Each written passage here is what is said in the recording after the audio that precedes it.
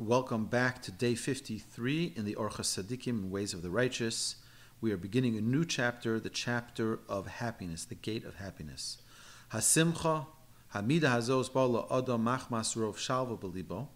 What brings about happiness? It comes to a person through the enjoyment of great tranquility in his heart, Bli Pegara, unmarred by mishap.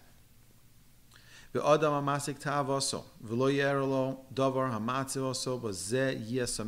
a person attains his desires and never experiences anything that saddens him, will always be happy. Yesamech todir. Someone who has happiness and joy at all times, yeoiru panov vizivo mavhik vigufo bari such a person, his face will shine, will glow, his countenance will be radiant, and his body will be healthy. Ve'ein ziknum and maheres love and old age will not quickly come upon him. Kimoshenemar, as the verse states, Leiv someach yitav geha. A happy heart is as healing as medicine. This is what the King Solomon says in Proverbs and Mishle. And from happiness comes laughter. But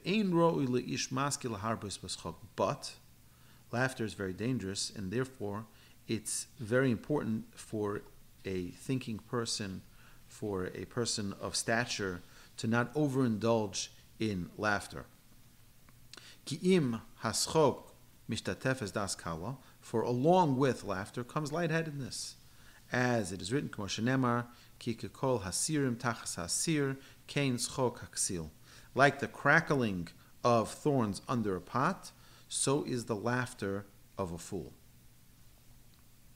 We already know that one of the common distinguishing signs of a fool is that he laughs, where laughter is inappropriate. Ro boy musar, and someone who is uh, a person of musar, a person of uh, who's trying to attain a great level of personal growth, it's not appropriate for such a person to be laughing all the time, overly uh, laughing, oh, laughing, overly filled with laughter. To be in, in, in places of uh, comedy shows and things like that, uh, you know, in, in places which are always laughing and and mocking because our sages said, Mi schoko mismayet mora'o. The more one laughs, the less one fears. And we discussed previously the importance of fear of Hashem and how important it is for a person to have a proper perspective. And sadly, laughter removes a person from having that clarity and that perspective. Kibish asas chok ein yochel lechavein achar shum yiras Hashem elokim. When a person has laughter in their mouths, it's impossible for them to also have fear of God upon them.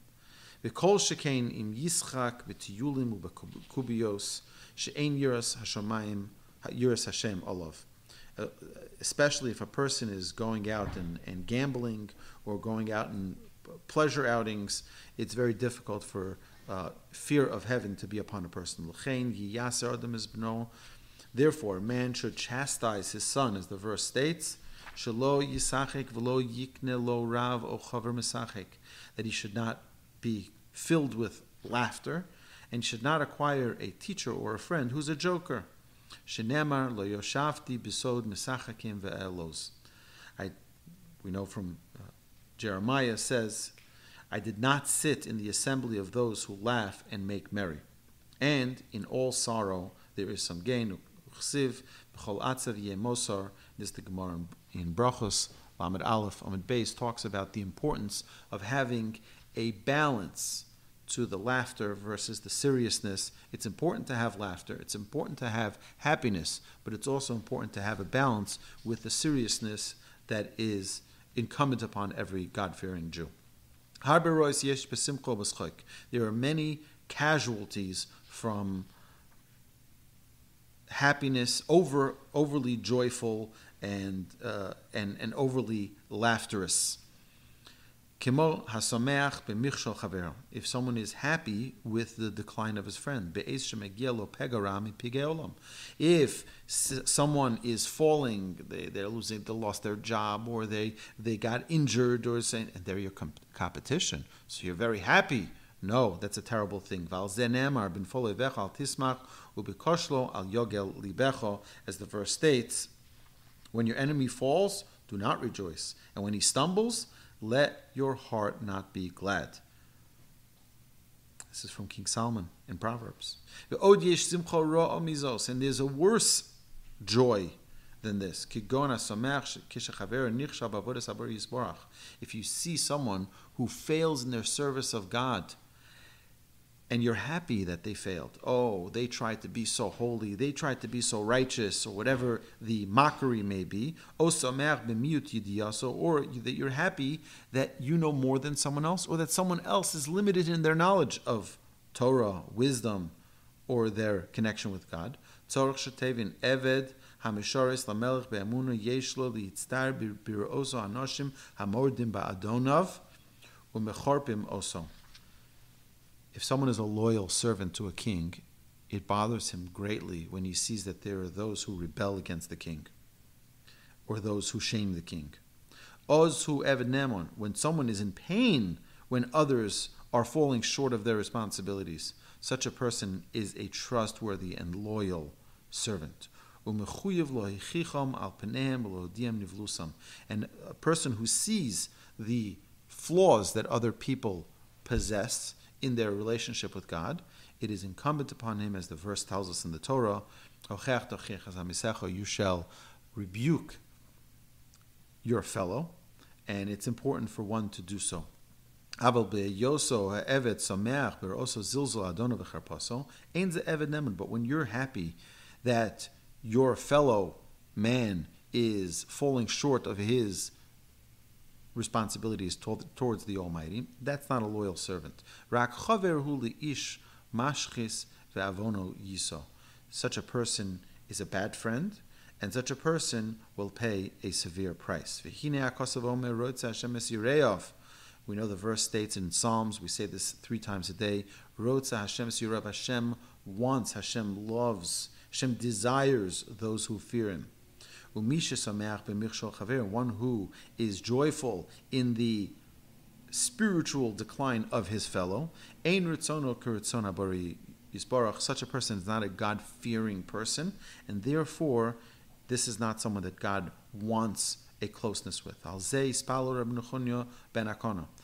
such, Rabbi Nechuni ben Akona, the great Tanaic sage, prayed,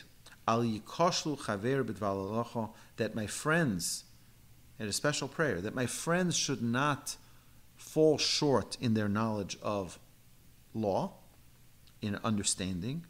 And I should laugh and I should mock or rejoice in their limited knowledge. And that I shouldn't fall short in my knowledge of Torah. And my friends will laugh at me.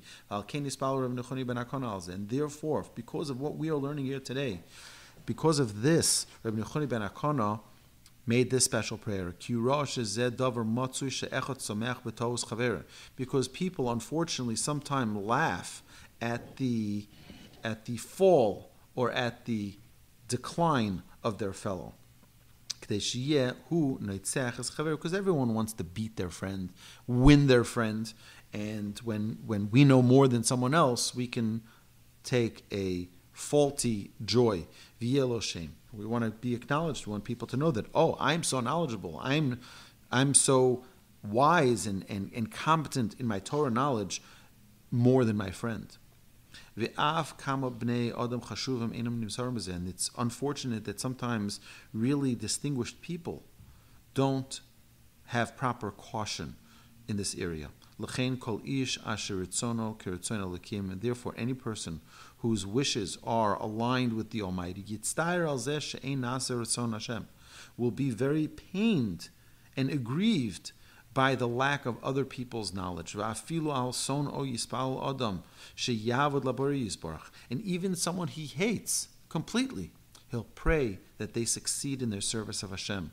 V'yichavim b'tfilosa, and a person will therefore in their prayer have intention, have in mind, b'birchas hatachonin, in the prayer of grant men wisdom. Why? Because we're not only asking for ourselves. We're asking for everyone, for all of those, even those we dislike, that they should not be embarrassed with their shortage of wisdom. And we also have the prayer of return us, our Father, to your Torah. We're asking in a plural. Forgive us, Hashem. I'll call Yisrael. We ask for all of Israel, not only for ourselves. Oavav, Sonov, those you love and those you hate. And the, and the same is with all of our blessings that we recite in the Amidah and the Shemona Esrei. We ask them in a plural tense. Ki eich yitochin shispal chole v'shar brochos. How is it possible for one to request from the Almighty something only for himself and not asking for his fellow? Whether it be for livelihood, whether it be for healing, this is something that if if we really wanted healing, we wouldn't only ask for ourselves, we would ask for everyone else who needs that healing.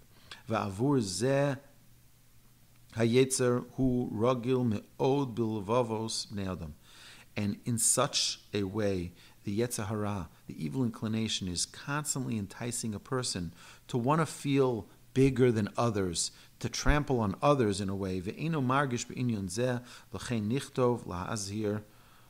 yirei Hashem.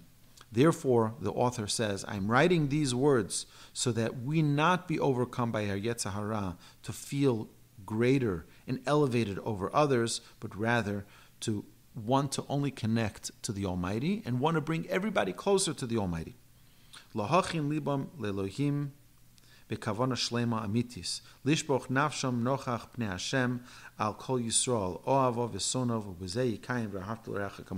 And this is the fulfillment of the verse in Leviticus 19, 18. You should love your fellow like yourself. Because if you care for your own spirituality, for your own knowledge, for your own growth, you should be concerned and pray for the success of your fellow.